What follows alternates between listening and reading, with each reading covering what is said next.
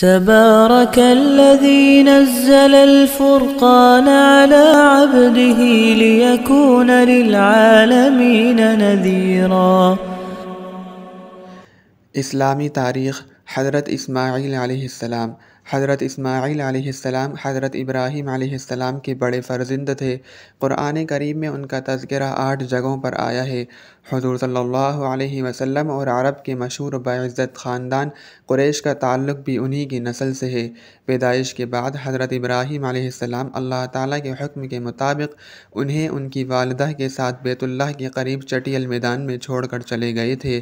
جب کھانے پینے کا سامان ختم ہو گیا تو حضرت اسماعیل علیہ السلام کی تربیت و پرورش کے لیے اللہ تعالیٰ نے زمزم کا چشمہ جاری کر دیا جو آج تک موجود ہے۔ اتفاق سے بنی جرہم کا ایک قافلہ ادھر سے گزرا تو اس چشمے کو دیکھ کر حضرت حاجرہ علیہ السلام سے اس جگہ بسنے کی اجازت چاہی۔ اجازت ملتے ہی بیت اللہ کے آس پاس ایک بستی آباد ہو گئی۔ جب اللہ تعالیٰ نے حضرت ابراہیم علیہ السلام سے حضرت اسماعیل علیہ السلام کی قربانی طلب فرمائی تو دونوں بخوشی تیار ہو گئے اور باپ بیٹے کو قربان کرنے کے لیے چل پڑے۔ جب چھری گردن پر چلنے لگی تو اللہ تعالیٰ نے خوش ہو کر اس کی جگہ جنت سے دمبا بھیجا۔ پھر اس کی قربانی کی۔ چنانچہ اسی کی یاد میں عید الضحیٰ کے موقع پر جانوروں کی قربانی کا سلسلہ ہمیشہ کے لیے جاری کیا گیا۔ پھر قبیلہ جرہم میں حضرت اسماعیل علیہ السلام کی شادی ہوئی۔